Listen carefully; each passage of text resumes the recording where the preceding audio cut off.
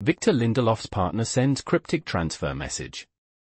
With transfer deadline day approaching, Manchester United's Victor Lindelof is among the players the club wants to offload.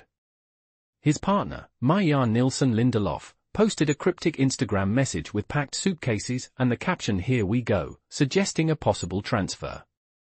United have accepted Napoli's offer for Scott McTominay, while Jadon Sancho is linked with Juventus and Chelsea. Hannibal Mejbri is in a transfer battle between Leeds United and Burnley. Lindelof has not received much interest since Fenerbahce earlier this summer. Please subscribe to my channel.